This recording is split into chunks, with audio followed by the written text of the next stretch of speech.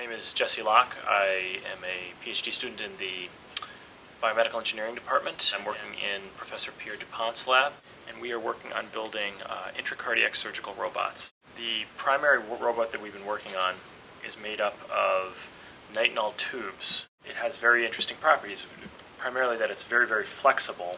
When you uh, put one tube within another, and then you rotate the tubes, you suddenly can create a straight tube where there was once a curved tube. So just to make a effective robot, you need you know five or six degrees of freedom, and we do that by adding a, third tube.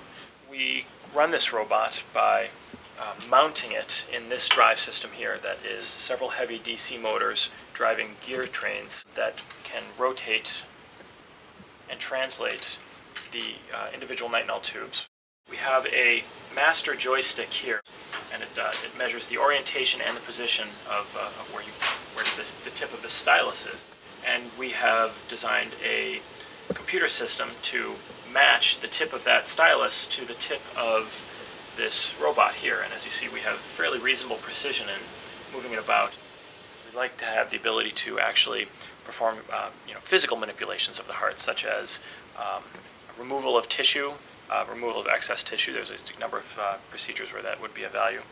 And the ability to approximate tissue uh, the way that you might with a suture or with a, a metallic clip holding, holding tissue together.